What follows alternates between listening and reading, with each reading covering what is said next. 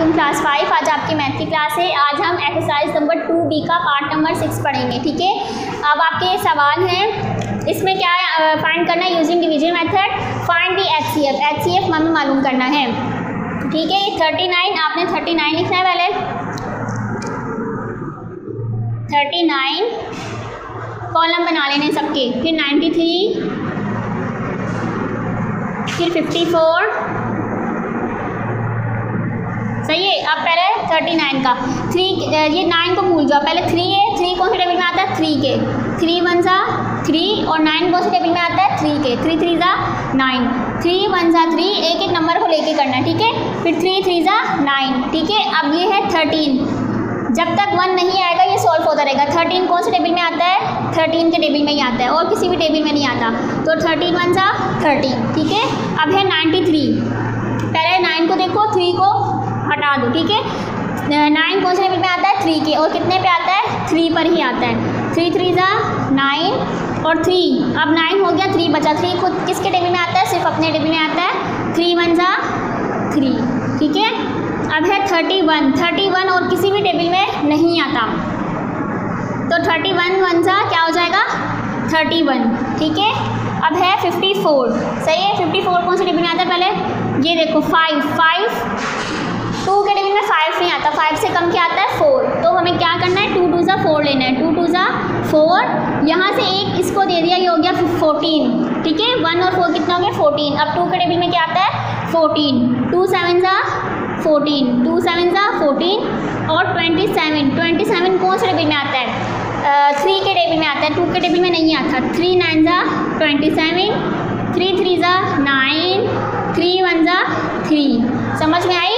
Three three ज़ा nine three three nine ज़ा twenty seven three three ज़ा nine three one ज़ा three अब तीनों के नीचे हमारे क्या आ गए? वन आ गए, ठीक है? अब हमने क्या करना है?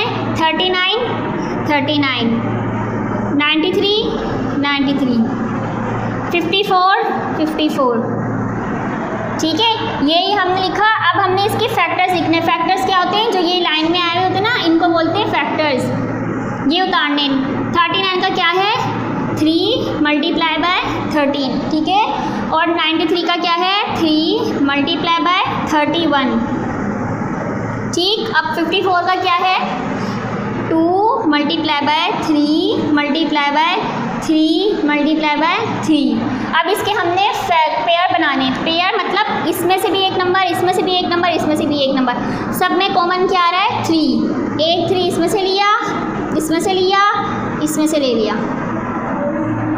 ये क्या बन गया? पेयर मतलब नाइन्टी थर्टी नाइन में से एक पेयर लिया, एक नंबर लिया नाइन्टी थ्री में से एक नंबर लिया फिफ्टी फोर में से एक नंबर लिया। अब जो पेयर हैं, ये ऐसे नहीं बन सकते। ये एक नंबर में से दो नहीं लेने, बल्कि तीनों नंबर में से एक एक नंबर लेना है। ये ऐसे फैक्टर नहीं बनेगा। इसके बाद आपने पेयर बनाने के बाद और कोई पेयर नहीं बन रहा। आपने यहाँ पे लिखना है सी एफ़ सी एफ़ का मतलब होता है कॉमन फैक्टर एक जैसा क्या आ रहा है एक जैसा क्या है सिर्फ़ थ्री है। तो हमने इस पेयर में से नंबर एक हैंड्स लेना है थ्री सारे सा, इसमें सारे थ्री बराबर हैं पेयर में तो हमने एक थ्री खींच लिया और एच सी एफ़ क्या आया? थ्री एच सी एफ़ भी क्या आ गया? थ्री ये हमारा आंसर है। अगर इसके साथ कोई और नंबर होता ना, फिर ये मल्टीप्लाई होता तो हमारे पास थ्री टू का सिक्स आता। अब कोई नंबर ही नहीं है तो ये क्या आएगा? थ्री का थ्री आएगा। ठीक है क्लास यहाँ तक आप देखिए।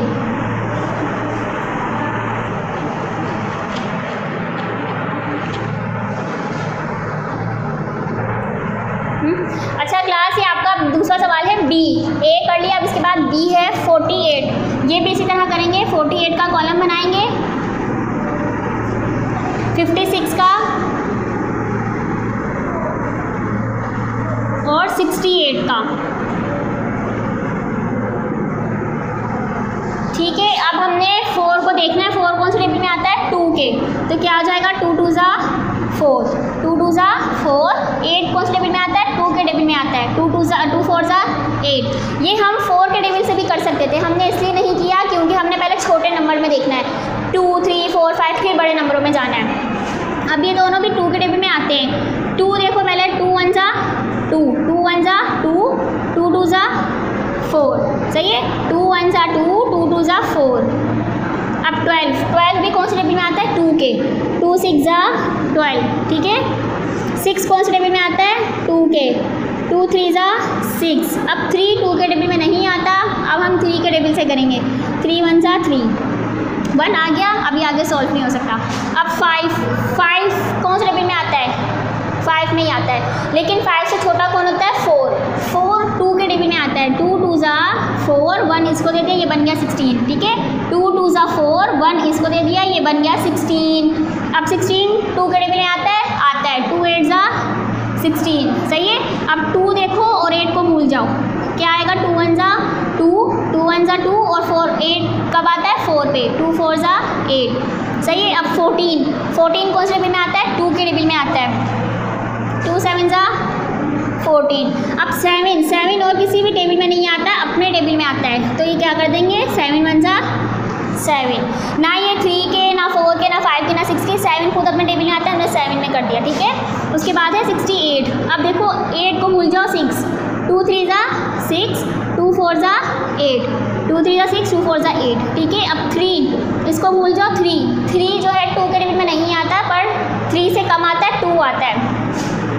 टू वन ज़ा टू वन इसको दे दिया, ये बन गया फोर्टीन टू सेवन ज़ा फोर्टीन अब सेवनटीन सेवनटीन किसी भी टेबल में नहीं आता सेवनटीन प्राइम नंबर है प्राइम नंबर मतलब खुद अपने टेबल में आता है तो सेवनटीन सेवनटीन वन ज़ा सेवनटीन ठीक है के वन वन आ गया। अब हमने करना है, ये सारे जो हमने निकाले हैं, जिन जिन के, वो लिखना है। Forty eight, fifty six, sixty eight.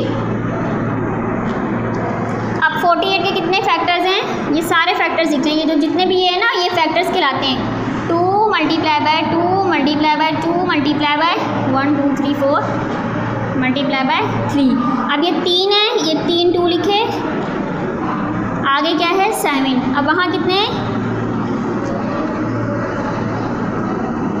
ठीक है, अब इसमें से हमने पेयर बनाने हैं। पेयर क्या? मतलब तीनों में से एक एक नंबर लेना है। ये देखो एट टू ये दूसरा, ये तीसरा। ये एक पेयर बन गया। अब और कोई भी बन रहा है? ये वाला। सही है? अब ये ऐसे नहीं बन सकता। ऐसे नहीं बन सकता और ना ये ऐसे बन सकता है। इसमें से दो आ रहे हैं ना। एक इसमें से, अब इसमें नहीं है को टू ये तो दो ही फैक्टर बनेंगे। अब आएगा सी एफ़ और एच सी एफ़ अच्छा कॉमन फैक्टर है इसका मतलब। एक टू इसमें से खींच लिया, यहाँ लिखा, एक टू इसमें से ले लिया। ठीक है? ये क्या आ गया? टू टू सा फोर ये हमारा आंसर है। और जो मैंने जिस पेन से लिखा है ये मैंने ब्लू से लिखा है तो आपने ब्लू पेन से लिखा है, ये लिखना है। ये ब्लैक से तो ये आपने ब्लैक से लिखना है, ठीक है? ये आपका क्वेश्चन नंबर बी सॉल्व हो चुका है। इसको एक मिनट देख लें।